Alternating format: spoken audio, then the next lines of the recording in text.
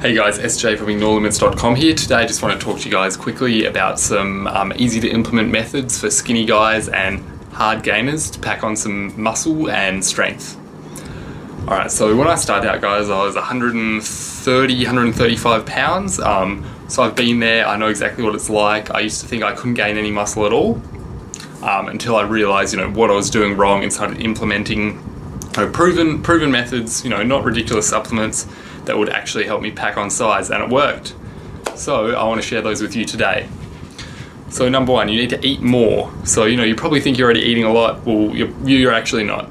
So it comes down to calories, guys. So fats are calorie dense. So one gram of protein and one gram of carbohydrates each contain four calories per gram. Fat, on the other hand, regardless, you know, saturated, unsaturated, um, contains nine calories per gram. So this is an easy way to get in some additional calories, guys. So up your fat intake. So, you know, start eating, you know, I'm not talking about eating bad fats. I'm talking about, you know, eat things like almonds, eat peanut butter, Greek yogurt, um, fatty cuts of meat um, are the best sources. As well as that, um, in terms of dieting, uh, liquid nutrition is your best friend. So get a get a cheap blender, or you know if you already have a blender, use that. Load up about you know four 500 mils of water.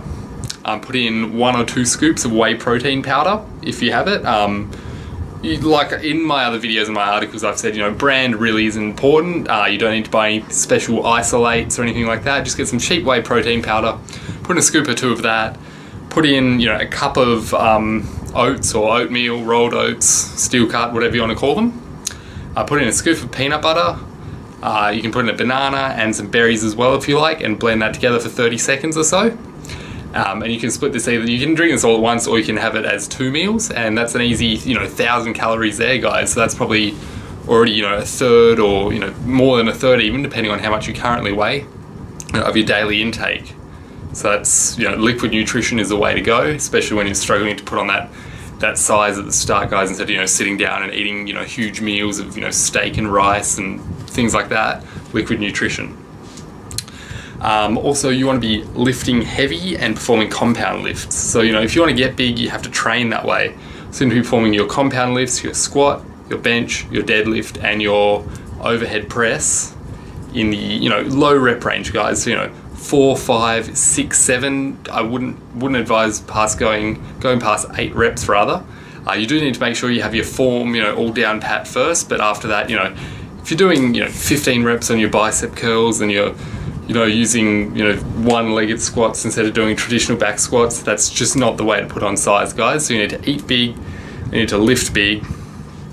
Um, and yeah, those are the main methods, guys. You don't need to supplement. Like I said, liquid nutrition is the way to go you know, you don't don't worry about creatine, don't worry about this, don't worry about that. They can all come, you know, to give you that extra edge later on down the track. You need to consume more calories, you need to lift heavy, and yeah, that's that's the key, guys. So that's pretty much it, and avoid cardio. SJ from Ignore Limits. Be sure to check out the blog. Thanks for watching.